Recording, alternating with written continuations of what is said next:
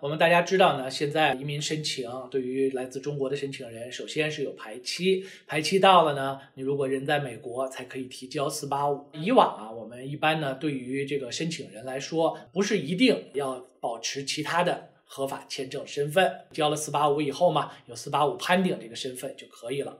我自己是在 OPT 期间提交的四八五，我就没有用过 H1B 工作签证。我自己的四八五呢，就前后两年左右才批准。在此期间呢，一直就用四八五 base 的 EAD 工作。这个呢，对于我们的很多客户，原来也都是这样的。但是呢，在最近一段时间有一些新的情况，因此呢，我们现在更多的建议申请人，如果有可能的话。在提交 I 四八五以后呢，继续保持一个合法的签证身份。首先，四八五审理时间比原来更长，标准呢有时候也更严格。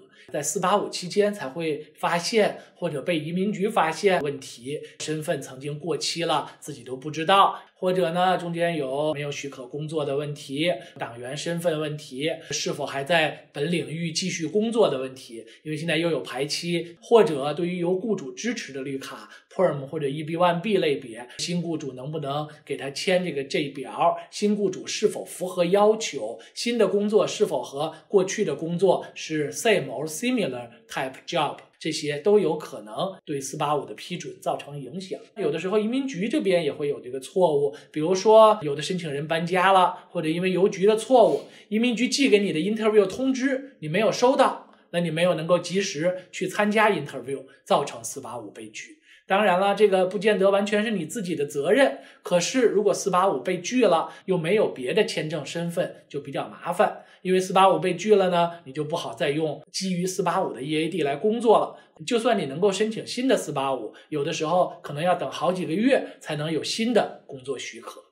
而且呢，如果万一被拒了，你就算 out of status 了。现在很多时候呢，四八五被拒了，申请人当时呢就被要求要离境，要不然的话呢就会收到一个叫 NTA notice to appear，就要去移民法庭开始递解出境的程序了。这些呢都会让申请人比较紧张。如果你在交了四八五以后呢，还能继续保持原来的身份，不管是 H1B 啊、O1 啊等等工作的签证身份，或者呢 H4、O3 等等作为配偶，你有这样的身份，那么就会好一些。那么有的人呢，可能会讲到，那我又要换工作啦，又要搬家啦，一直保持签证身份不容易。也有一些别的变通的办法，比如说你曾经是拿 H1B 工作签证，或者原来是 OPT，但是有条件申请 H1B 没有申请。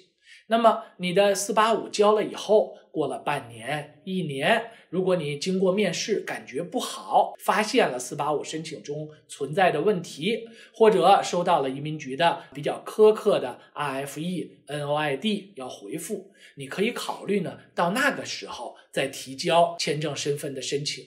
尤其是如果你以前有过 H1B，那申请新的呢不用抽签。或者呢，你也可以申请新的 O1 签证。我们有客户有类似这样的情况，你中间有一段时间签证身份中断，但是因为你有四八五判定，所以呢算是合法待在美国。万一预感到四八五不好顺利批准，再申请取得其他签证身份，你就有一个 backup。考虑到现在四八五处理的时间更长，尤其是处理的标准比原来更严格。我们见到、了解到若干的例子，有的人幺四零通过了，但是因为过去一些问题没有保持合法的签证身份，四八五被拒或者将要被拒的，就处于比较紧张的情况。当然了，具体是否方便保持其他签证身份，这个因人而异。但是呢，我们目前更多建议我们继续用这样的签证身份。还有一点呢，有人说到，哎，我现在是 H1B 啊，或者 O1 啊，你用过的 Once Pro 或者 EAD 了，会不会还有效？但是呢，至少有一点，如果要申请新的 H1B 或者 O1，仍然是可以的。所以对你来说呢，只要你需要的时候，总是能够申请到新的，不管是护照上的签证还是签证身份，啊，能够实际用就可以了。你能够继续保持转回到这种身份等等都是可以的啊。顺便说到，就像对于 L1A 有事先批准，另外还有延期，还有 EB1C 批准，现在也有递进的难度。总体来说吧，四八五。被拒的呢，从绝对数字上来说，还是有相当一些的。为了避免这种情况，可以考虑保持其他的合法签证身份。如果有更多问题，可以联系我们。谢谢。